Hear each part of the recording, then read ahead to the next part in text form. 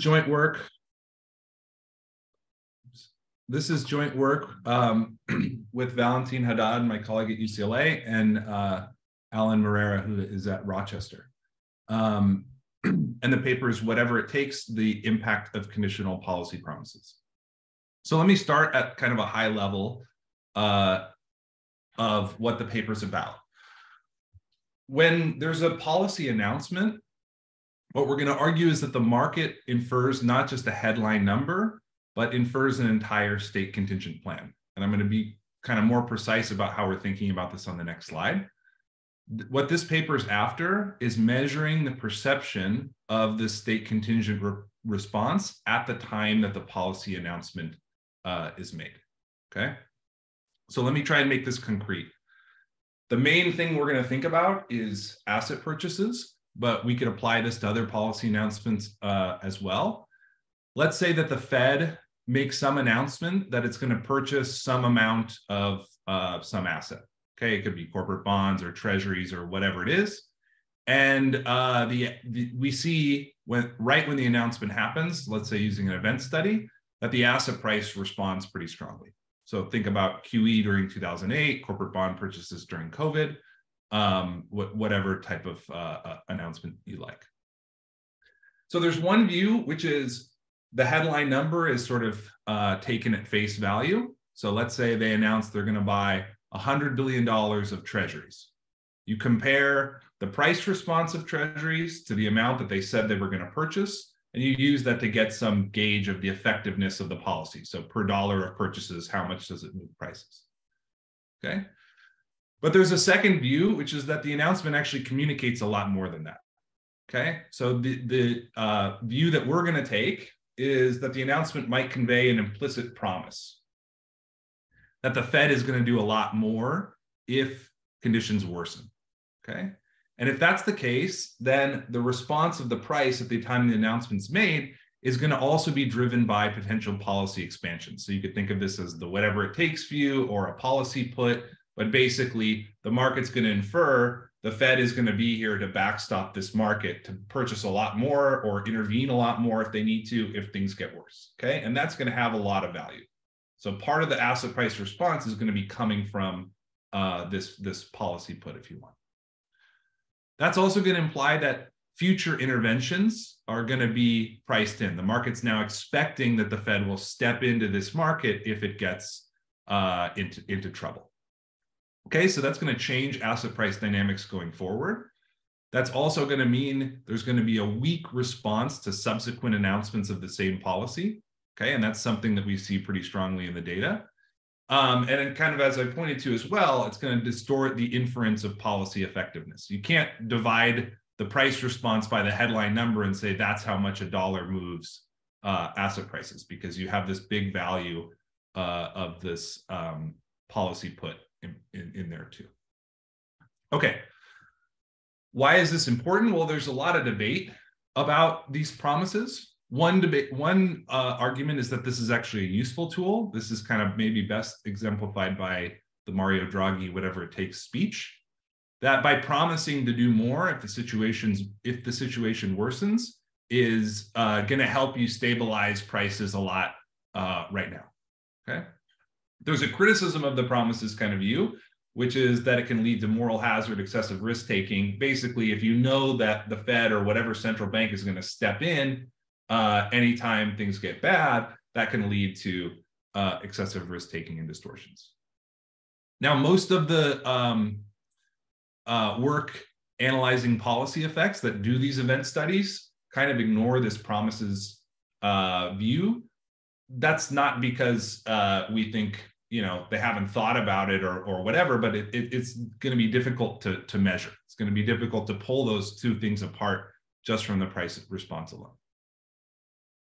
Um, we're going to focus on asset purchases the most but lots of other contexts in which this could be relevant. Um, bank bailouts yield curve or exchange rate control uh, even expansionary fiscal policy. Um, and these promises it's important to, to note they could be explicit, like in the case of, of Draghi, where he explicitly said, I'll do whatever it takes, or we'll do whatever it takes to stabilize things. Um, or they could be implicit, like in the corporate bond example that I gave you with the Fed. They didn't say uh, straight out, we're going to do whatever it takes to support this market, but the market might infer that from the announcement still. Okay. Okay, so how are we going to measure this and how are we going to separate those uh, views? Okay, so that's going to be the goal of the, the paper. Um, I'm going to try to provide a simple framework to, to kind of understand and quantify the impact of this state contingent policy that they might do uh, different amounts of a policy intervention depending on uh, the state of the world. Uh, I'll show you the role in the announcement returns. And the big thing for measurement for us is going to be that option prices are going to be really useful to reveal the state contingent policy impact. So while those two views I gave you before, they're both going to move the price. One of them is going to imply something for the left tail of the distribution that the other one uh, won't necessarily. Okay, and so by using option prices, we can try to gauge uh, this these these these promises. The main example that I'm going to spend time on is uh, the corporate bond purchases uh, in March of 2020, where the Fed stepped in to, to purchase uh, investment grade corporate bonds for the first time. I'm going to show you that this downside support explains at least half of the price recovery. Uh, it's going to imply much larger interventions in uh, bad states of the world. And then I'm going to show you evidence across a bunch of different announcements uh, as well. Um, quantitative easing uh, by in the US, UK, uh, uh, or by the ECB, um, purchases uh, of, of equities by the Bank of Japan, and I'll show you um, the 2008 bank bailouts as well. Okay. And then the last thing that I'll do is once we look at all those different announcements, and I'll try to convince you that these promises are, are, are sort of important, um, I'm going to talk about the implications for uh, market dynamics going forward. Okay, so one is this hidden risks that if the market now believes that the Fed is going to intervene into, let's say, corporate bonds every time that market gets in trouble, that's going to distort the tail risk in corporate bond markets. Okay, and I'll, I'll show you some evidence of that, that even after this uh, purchase program is over, it looks like those there's sort of too little tail risk. Um, and I'll also argue that this is going to help explain uh, a, a, little bit of a puzzling pattern in the, in the literature that there's a weakening Q, QE announcement response. That when they initially announced um, purchases of treasuries or agency MBS or, or those types of things, the response looked really, really big. For subsequent announcements, it looks uh, a lot smaller. If you have this state contingent view in mind, that's not going to be too surprising because the market already expects interventions in these bad states of the world. The announcement response uh, is, is going to look small. Now, that doesn't mean that the policy itself uh, is, is any weaker. It's just that the announcement isn't the right way to exactly measure it when it's expected. Okay. So let me focus on corporate bond purchases. So this is March 23rd, 2020. Um, the Fed announces for the first time purchases of investment grade corporate bonds. Um, the price response to this announcement was huge. Prices moved between 7 and 14%, depending on whether you use a five minute event window or allow for a couple of days for prices to respond. Uh, and that translates to somewhere between half a trillion and a trillion dollars in value, again, depending on which number you use exactly. Okay, so that's pretty big. Now, ultimately, the Fed only purchased $15 billion um, of, uh, uh, of these bonds, okay, or corporate bonds and corporate bond ETFs between the two, okay? Um, so that would imply a really huge multiplier somewhere between 30 and 60. So is this a huge multiplier really, or is there an implicit promise communicated in this policy announcement?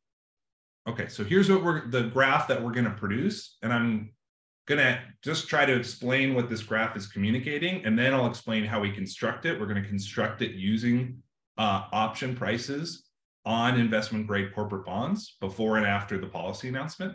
That's kind of the idea. What this graph is doing, so the, the x-axis here is uh, the price in three months without purchases. We're doing three months because that's when the purchases were ultimately made from the time the announcement was made. Okay. And we've indexed it uh, so that 100 means prices three months from now are equal to or the same as prices today. Okay, so that's like the current level of prices right now. Okay, we're going to think of that as sort of the state of the world absent any intervention. So if the Fed hadn't intervened, corporate bond prices could fall by 20%. That would be under this 80 number, or they could go up by 20%. That would be this 129. Okay. And then the y-axis is the effect of purchases on prices in each one of those different states. Okay. And so what this graph is saying is if absent any intervention, corporate bond prices would have fallen by 20%, so down to this 80, the Fed would raise them by about 20%. Okay. Conversely, if asset prices had rate gone up by 20%, the Fed would only raise them something like 2%, maybe 1%. Okay. So there's this big asymmetry here uh, that there looks like a lot more price support in bad states of the world than good states of the world. Okay. And this is going to be consistent with this uh, promises view. Okay. So let me talk about how uh, I'll talk about a little bit of related literature, and then I'll talk about how we actually get to that graph using uh, using option prices. Um, so long literature on asset purchase announcements. Um, this is I'm going to like go through this super super quickly, but we don't want to say no one has worked on this. Then this is not even an exhaustive list here. Uh, and then uh, there's also a lot of work on uh, implicit promising policy promises. So most notably, uh, the work on the Fed put. Um, there's work on forward guidance as well. Uh, that that kind of has a similar flavor. And then information from option prices. I could list like 50 papers here, uh, but I'm just going to list a couple. Okay. Good. So let me talk about the framework for how we're thinking about this and then how we're going to measure this state contingent impact of policy promises. And then I'm going to spend a lot of time doing this March 2020 corporate bond announcement kind of in detail. And then I'm just going to show you um, the same methodology applied to a bunch of different policy announcements. Uh, and then I'll try and talk about these long run implications. Okay, so measuring state contingent policy. I want to just think about a really simple example um, this example is going to have uh, no promises. So the, the Fed is going to make some announcement. Let's say it's the $100 billion of the asset that they're going to purchase. And everyone knows that that's the exact amount that it's going to be and no more and no less. Okay, so it's kind of just this constant purchase amount. So we're going to have two dates, zero and one. The announcement is going to happen at date zero, and the purchases are going to happen later at date one. Okay. Before the announcement is made, the price today is going to be P0 and the price at period one is going to be P1. Okay. And so P0 is going to be uh, just the expectation of uh, P1, where really this is the risk neutral expectation, right? And we're just going to ignore some kind of risk free discounting for now. Okay. So now there's an announcement that there's going to be some quantity of purchases, which I'm going to call Q. Let's say it's 100 billion or whatever the number you want is. Okay. P0 is going to change when the announcement is made. So now it's going to be P0 prime. And what is that going to be? It's going to be the expectation of uh, P1 times 1 plus MQ, okay?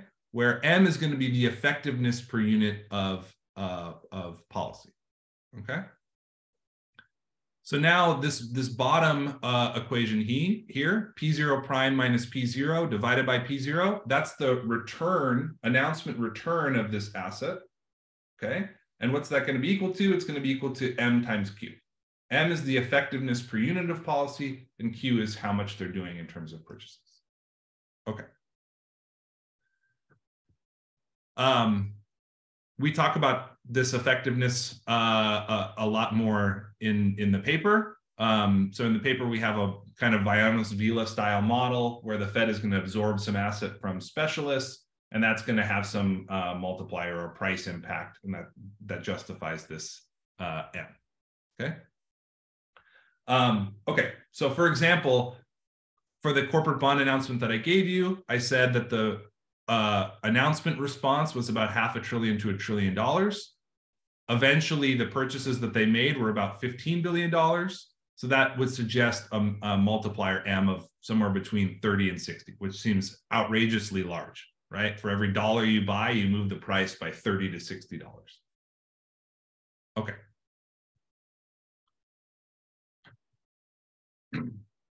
Now let's do the simple example with uh, promises. All right. So now the market might infer stronger interventions that the Fed will buy more than they said they would do if things get ugly, right? If conditions worsen. So now the Fed is going to buy some additional amount. I'm going to call that Q promise if the price P1, and that's the price absent any intervention, is below some threshold P lower bar. Okay. Well, now this is going to distort the announcement uh, effect due to the presence of this extra uh, promise. Okay, so now the announcement return P0 prime minus P0 over P0 is going to be equal to M times Q. So that's the base effect from whatever headline number they announced, let's say, plus this implicit promise uh, uh, effect. Okay. Where it's going to be M times Q promise times this uh, expectation of P1 times this indicator divided by the expectation of P1. Roughly speaking, I'm just going to kind of think of that as like the probability that the promise gets exercised. It's a little bit more than that, but uh, but fine. Can I jump in with a question here? Yeah, please. So the question in the chat is, what's the right benchmark here? Would it be useful to compare intervention days to days with similar returns but without intervention? Yeah. Uh, such a comparison would help estimate the effect of the announcement uh, and distinguish it from the, a mechanical leverage effect. Yeah, good. Yeah, so uh, can, uh, maybe I'll postpone that a little bit to when I talk about the standard errors, but we basically do that. Yeah. Okay. So, so we're we could do the same thing um, on non-announcement days, right? We could do it on every single day, and then we could say, well, is it just that the return on this day was high, and every time you do, you see the return that high, you see something like that, and the answer is no. Yeah, yeah, great question, great question. Um, okay. So, for example, if the uh, you know if they're going to buy five times more in this bad state of the world when P is below P lower bar. Um, and this, what I'm going to really loosely call this probability that the promise is exercised, that you're in this bad state, is something like 20%. Um, that will double the announcement response, right? So now the announcement response is going to be way higher um, than, it, than it otherwise would have been. You would not want to conclude uh, that you know a dollar of purchases is crazy effective you would it would be half as effective as you you you sort of thought once you take this into account okay now importantly as well there's going to be no reaction at date one if this promise is fulfilled right because it was already effectively priced in at the time of announcement so that's going to be really useful too because there is this uh, literature that initial announcements of asset purchases in the US and Europe have a puzzlingly large effect, but later stage announcements of the same policy don't. They actually seem to be really weak. Okay. This is going to sort of predict that if you get into that bad state and they do announce that they're going to buy more, nothing's going to happen in the price because it was already priced in uh, before. Okay, good. So these are our two kind of like straw man views that I want you to think about. Now the question is going to be, well, how could we sort of separate this example with promises from the other one? You can already kind of tell that option prices are going to be really useful here, right? Uh, if I saw put prices with a strike of P lower bar, that's going to move differently in this case than it did in the case that I just showed you before, the no promises case. Okay.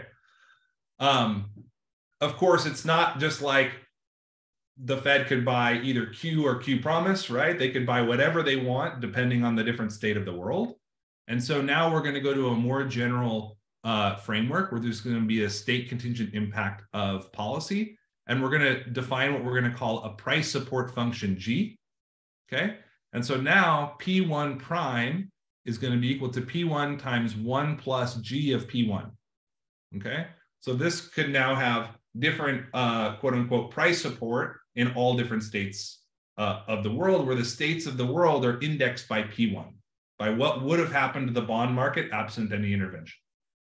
Okay, so this example I just gave you, this would be what this price support function is, the M times Q plus this indicator times the extra that they would do if um, things get bad. Okay, so this policy is not a fixed number. It's a mapping from the state of the world to this intervention. And again, the states that we're going to focus on uh, are the values of the price absent any intervention. Now, one important thing that I'm going to note here too is we're going to extract this price support function using uh, option prices before and after the uh, announcement. But this G, this price support function, is going to be the total impact of the policy in each state. In the example that I gave you, it's, it's not going to be able to separate M and Q, how much they were buying in each state versus how effective a dollar of purchases is. Okay. We're going to need more assumptions to, to sort of try to do that. Okay, so how would we recover this G from the data? Well, the problem is the announcement return gives you a, approximately uh, the expectation of G, right? What we really want to know is what this price support function is state by state. Okay, and that's the key idea is that the option prices are going to reveal the change in the distribution from P1 to P1 prime, and that's going to allow us to back out this G. Okay. Um, so that's the idea. Now to do that, we're going to need uh, a couple of assumptions. Okay, how can we recover this G for this price support? Um, and I'm going to really focus on two. Uh, the first one is the same risk neutral distribution, uh, which I'm going to call F, maps implementation date prices into announcement date prices before and after the uh, announcement. Okay, so um, roughly speaking, I think of this as like the pricing kernel between date zero and one isn't changing over the announcement. It's not making any assumption on the relation of risk neutral and physical probabilities that we can separate those.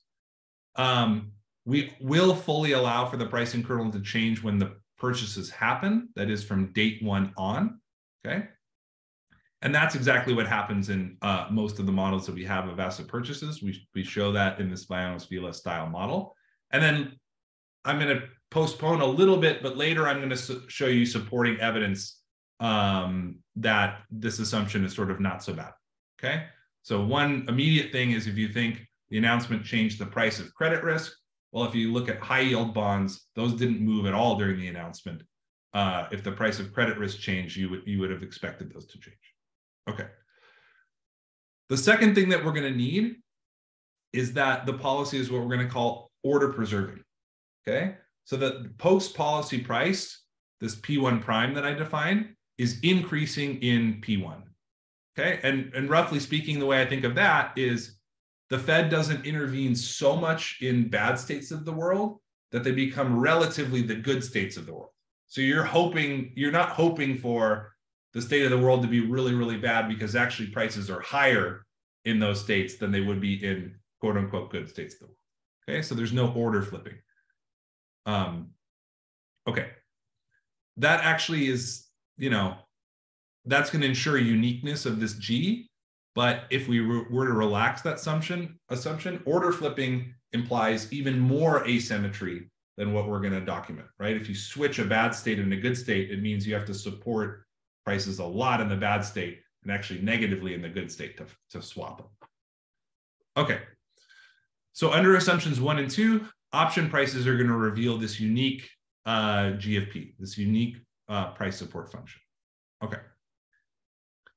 So how, how are we going to do that? Um, well, we're going to use this, uh, you know, classic Breeden-Litzenberger uh, result that put and call prices um, across strikes can, can help us reveal the distribution, risk neutral distribution, of course, of P1 and P1 prime.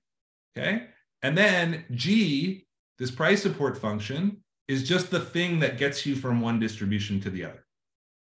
Okay. So once we see those two distributions, G is sort of whatever it, I think of it as whatever it needs to be to get you from the first distribution to the second distribution. Okay. Um, now, since we have this order preserving policy, right, it means bad states are still bad states. So really, even though, you know, this might sound kind of complicated. It turns out to be really simple. Uh, it's basically just kind of matching quantiles, right? I know the worst state is still the worst state. So now I just have to see what the value is the worst state before and the value is the worst state after. And G is whatever it needs to be to, to add, uh, to, to, to get you from one of those values to the other. Okay. So this X percentile of P1 maps to the X percentile of P1 prime. Okay. And the difference in the values is going to give you G. Okay. Let me just give you that in a couple of examples. So here is uh, this constant policy. That's the first example that I gave you. Okay. Um, where P, P prime is just going to equal to P plus some M times Q, some constant policy thing. Well, what I'm going to observe is these bottom two things, right? The distributions P1 before the announcement's made and P1 prime after the announcement's made. And all that's going to happen here is a parallel shift of these. Okay, so now when I match every quantile and kind of difference the values, what am I going to get? I'm going to get a constant G. That's the top one. Okay. Other, you know, most extreme uh, example is uh, a price floor. So now um, the Fed is basically just going to say prices can't go below X. We'll buy whatever we need to to keep them from going below X. Okay, so what's the distributions going to look like in the bottom? Well, here's the first distribution. The second one is just going to take everything below a certain value and collapse it into one point. Okay. But the rest of the distribution at the top is going to sort of remain unchanged. What G would we back out from that? Well, it would have a slope of minus one in the lower range right? And then it would just be equal to zero in the higher range. Okay, so that's kind of the idea of how we're going to use the distributions to get this G. Okay, so that's the methodology. Let me talk about um, how we're going to do this, uh, this application to the 2020 corporate bond purchases. Okay, so here's March 23rd. The Fed announces these corporate bond purchases. I already kind of gave you these numbers about what the response is. Here's looking at this at a really high frequency. So these are using investment grade uh, and high yield corporate bond ETFs. Those are going to be really useful because we can observe the prices instead of the underlying bonds that trade infrequently, right? We can observe the prices at super high uh, frequency. The dash line is when the announcement happens. The announcement is made, investment grade corporate bond prices spike up dramatically. Nothing happens to high yield and nothing happens to the stock market. Again, the high yield case is really interesting because it looks like it's not just oh, the credit risk premium is, is lower. Otherwise, you'd expect that to move as well. Okay. Now, um, what, what I showed you that uh, investment grade corporate bond ETF, that was uh, for this ETF called LQD. It's the largest investment grade uh, corporate bond ETF issued by iShares.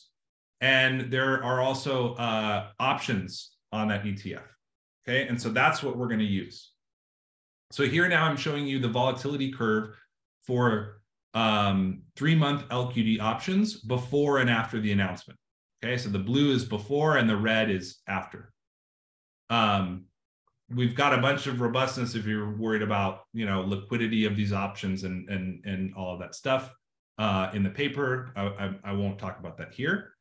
Um, but what you can see is overall implied volatility coming down, but kind of more shrinkage in, in the left tail.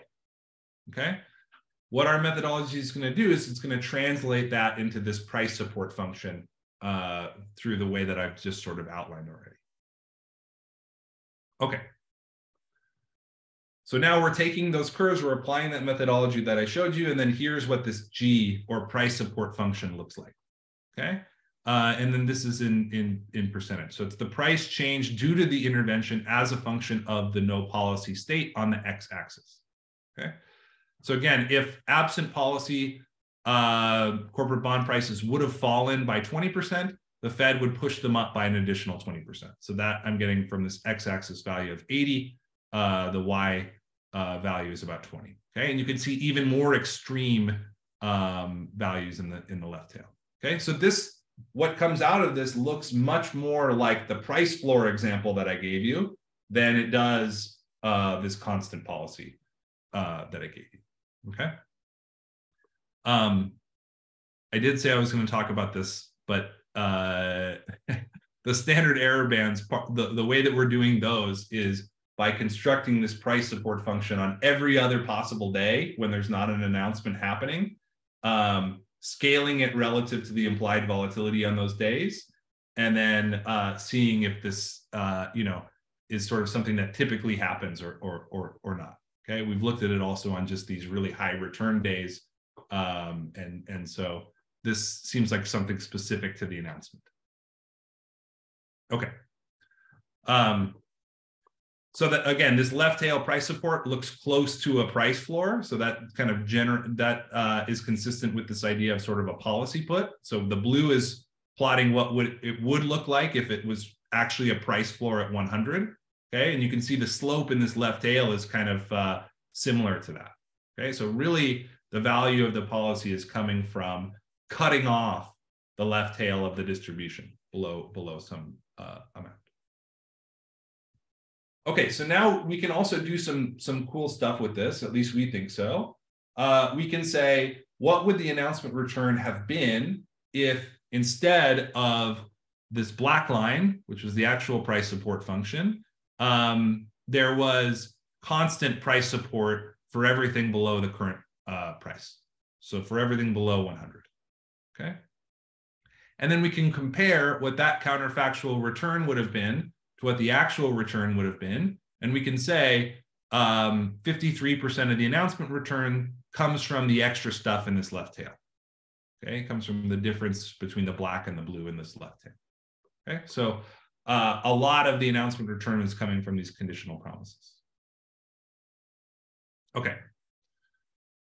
Um, now, I also told you that this price support function relative to our examples, it doesn't separate this M and Q, right? It doesn't separate the price impact per dollar of purchases versus how much they actual actually purchases, act, actually purchased. Um, okay, so to do that, we're going to need some additional assumptions. I'm going to show you two extremes. One extreme case would be, well, maybe they were just purchasing a constant amount. So this Q is constant, but it's just that the effectiveness per dollar of purchases varies wildly across states. Okay. Well, if you go to that extreme, what they ultimately purchased was about 0.2% of the market cap.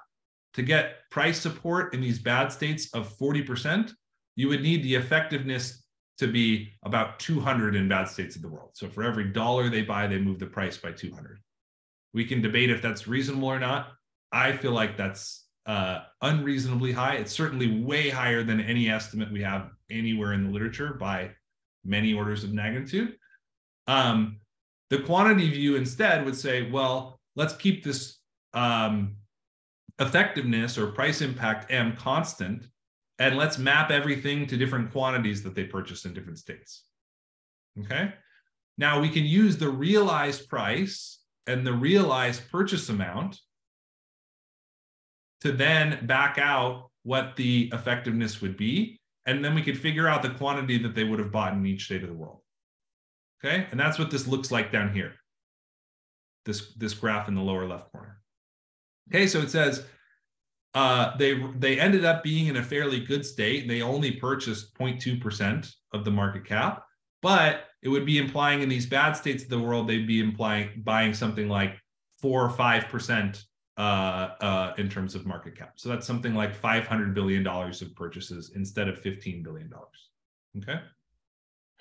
Um, and those seem like reasonable, reasonable uh, uh, numbers to us. That's what I was about to ask. Is 500 billion a plausible purchase amount? Well, they did say they did say they could purchase up to 300 billion, and Powell did say ex post um, so he said something very much in line with what we found ex post, which is he said, "Hey, the market looks pretty good right now, uh, so we're not going to purchase that much." Presumably, they would have purchased a lot more if, if it hadn't.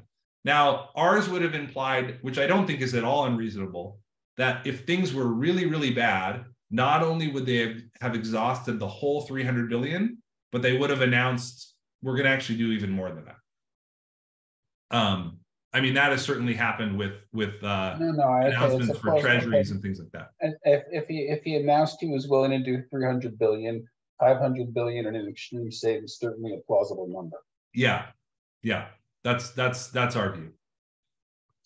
Um, okay, I don't want to talk about this too much because I want to get to other stuff, but uh, I I did talk about this assumption um, about the the pricing kernel around the announcements. Um, I'll just give you a couple of quick things. We already saw that high yield bonds and the stock market show no change around the announcements, so that certainly cuts against this broad um, change in the SDF uh, around the announcement. But another thing that we've done, and I'll just say this kind of quickly, um, you could have a case where the investment grade corporate bond market is highly segmented. And so the pricing kernel for an investor in that market is kind of different than it is for high yield bonds or, or, or the stock market. And there might be endogenous changes in that SDF that come through the policy announcement. Okay um, we have a way of uh, uh, of of dealing with that, um, and basically um, even adjusting for this kind of endo- endogenous change in the SDF. Of course, we're making some uh, you know assumptions about what the S- that SDF looks like and how it changes. We're basically assuming that there's like a log investor in that market. Um, even adjusting for that change in the SDF, we still find kind of similar patterns. But I'm, I'm, should we surprise, should we be surprised that there's no impact on junk bonds? You know, I'm thinking, okay, we raised the prices of investment grade bonds, so yields are lower. Mhm. So suddenly, to some fixed income investors, there might, you know, there might be some substitution into junk bonds. Um, am I thinking about Yeah. this wrong, or do your results imply that those markets are pretty segmented? Yeah, it's kind of weird because on the uh, there there's a little bit of a tension there, right? Because the fact that those didn't move cuts against this broad SDF kind of view, but the fact that those didn't move also kind of says that probably those markets are a bit segmented. Because otherwise it's a little bit puzzling. Now, interestingly, they did announce that they would go into high yield bonds a few weeks later on April 9th. And then you saw the high yield bond market move like crazy. But it didn't move when they announced just investment grade. So that's partly why we want to think about this like segmented markets with an endogenous uh, SDF just for investment grade bonds, and that the announcement uh, might might change that, right? Um, and so that's kind of why we're doing this this uh, additional adjustment here. Yeah, but I agree. I agree with you. That is a little bit strange. Okay. Um, we can also go a little bit further than this and say, like, in which states was the Fed expected to buy? So far, I've kind of pushed towards uh, low price states for corporate bonds, right? When the when the corporate bond market crashes, but that can come from multiple channels, right? One is just the risk-free rate might be changing. The second is that the credit risk premium might be changing, and then a third one is that there might be strong dislocations in uh, those corporate bonds. So just think about that as movements what you know uh, beyond anything from risk premiums or fundamental value or anything like that. So how could we try to decompose that a little bit? Well, we're going to get options on 10-year treasury futures, and we're going to get options on uh, the investment grade CDS index. And then we're going to define these dislocations as the CDS bond uh, basis. Okay. Now, what we really want is this joint distribution between uh, the Treasury futures and this CDX index. Um, we're gonna we're gonna kind of combine those using some uh, copula methods, and and obviously have to make some uh, assumptions to to to do that. Um, but we still think that that's that's informative to look at. And here's what ends up happening. So here's the distribution um, before, that's in the solid line, and after, that's in the dashed line. And what it really looks like is that the intervention shrinks the left tail of the basis of those dislocations. Okay. So the strongest intervention is going to be in states where not only are corporate bond prices really low, but they're way lower than they should be relative to what uh, the CDS market would be telling you. Okay, and then here's this quote from Powell that kind of seems to square with that. Uh, in June, after the purchases were all made, he said, markets seem to be functioning pretty well. So purchases are going to be at the bottom end of the, the range that we were thinking of. Okay. Oh, I've only got like 10 minutes, eight minutes. So let me do this uh, promises everywhere. So now that I've kind of done the deep kind of case study on um, corporate bonds during COVID, we're just going to apply the same methodology to a bunch of other announcements. Okay. So I mentioned this extension to high yield on April 9th of 2020. Um, this October 13th, 2008, that's the Paulson plan. So equity injections into the financial sector, uh, purchases by the Bank of Japan, all the US quantitative easing events, or the, the ones that seem to really move markets the most, and then a bunch of ECB announcements. Okay. Now, the, the option prices that we're using for each one of these announcements um, is going to be different depending on you know what the appropriate reference is. So for uh, the Paulson plan, for example, we're going to use options on the uh, financial sector ETFs. Uh, for the US quantitative easing ones, we're going to use options on treasury futures, right? So it's going to kind of depend on which is the asset that we think is most relevant in question.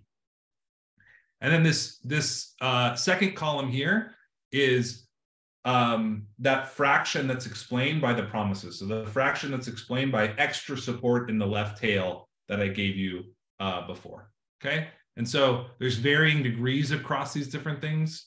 Um, but on average, it looks like roughly 18% uh, or so um, of the announcement returns are explained by these uh, uh, promises, by the additional stuff in the left tail. Okay. Um, so we have the plots of each one of these in the paper if you're if you're curious. Um,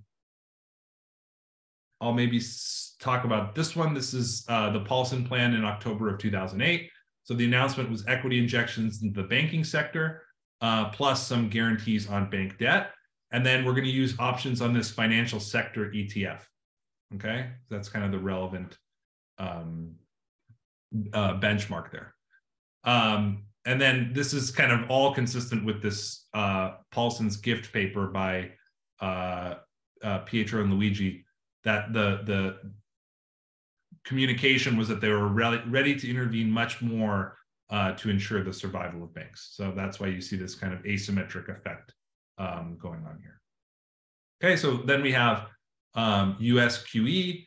This is November of 2008 on the left. We do the taper tantrum as well. So that's an interesting case because it's kind of like taking away this price support. Um, and so we see the reverse effect there, right? An upward sloping instead of a downward sloping uh, price support.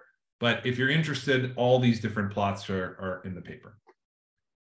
Okay, so let me now talk about like the implications of this uh, promises view.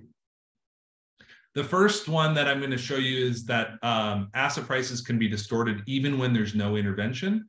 And then the second one, I've already alluded to this, uh, is that you're going to get a weakening announcement response. But that does not mean that the uh, policy effectiveness itself is, is weakening. Okay. So let me talk about this asset prices being distorted just really briefly.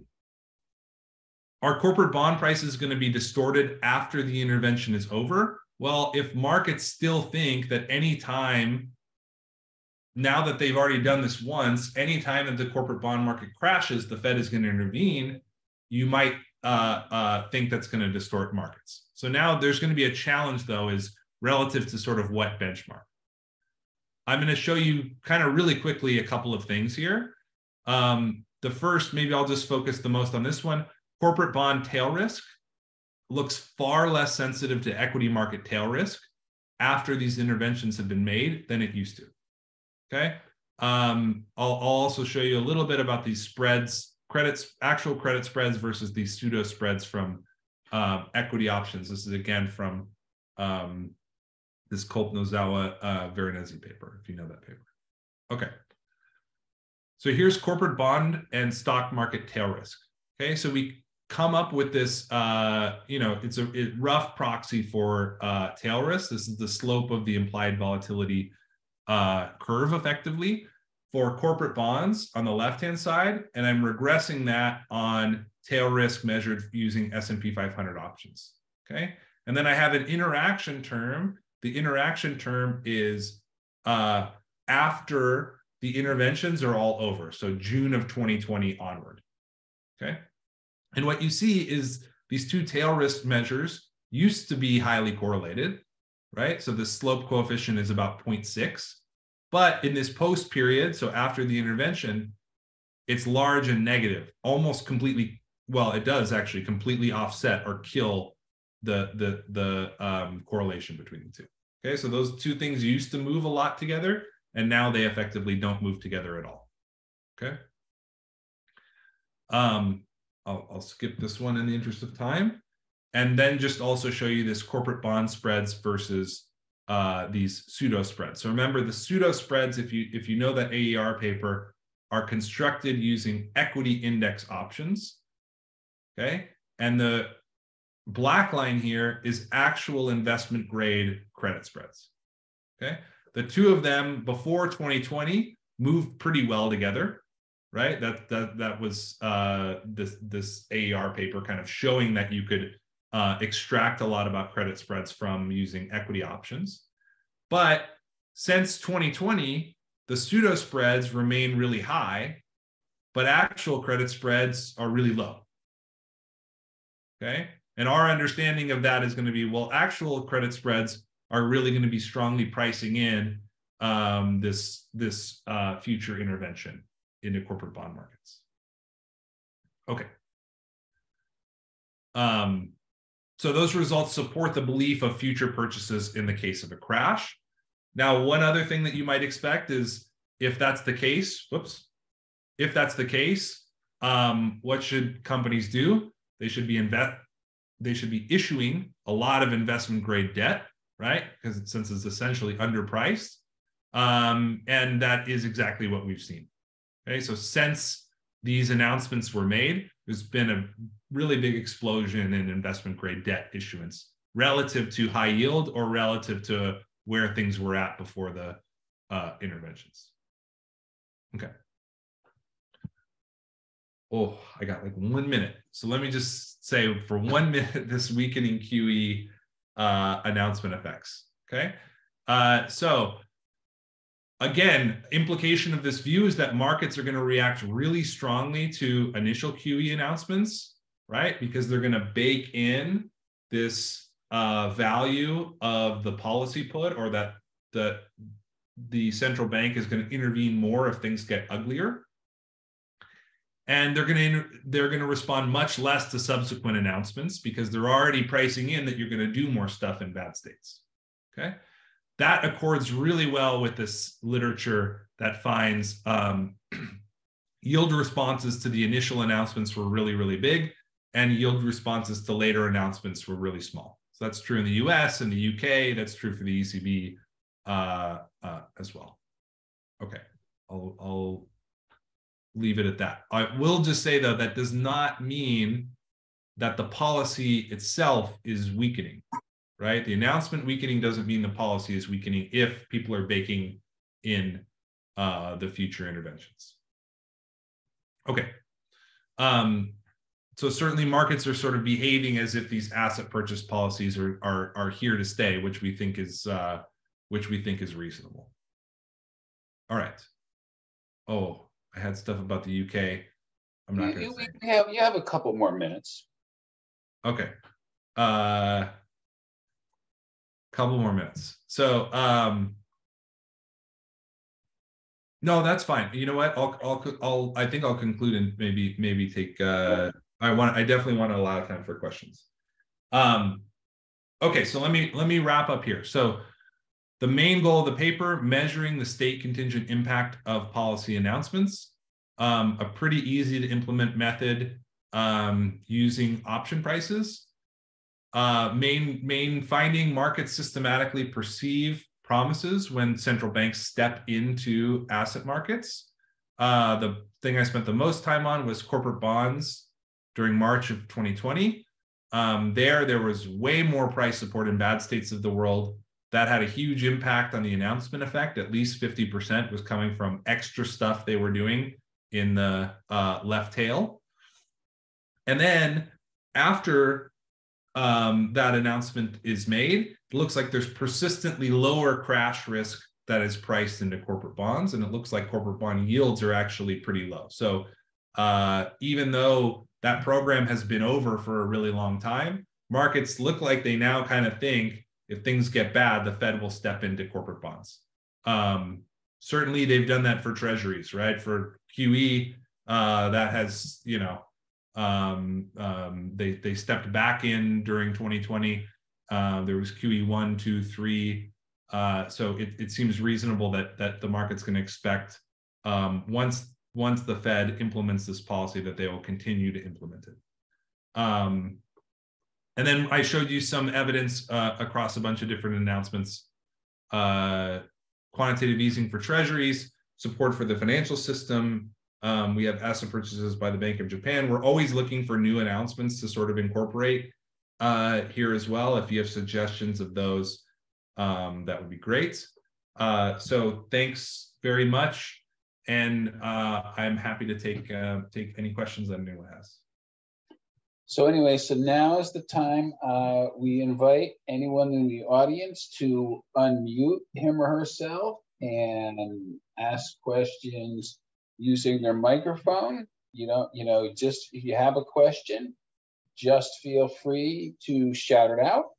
Uh, while you're thinking about questions, I have one comment and one question of my own. So the one comment is, you know, it's kind of very unfortunate um, that this, you know, one-time policy announcement seems to have a permanent impact that has created this expectation of, you know, future bailouts in the corporate bond market.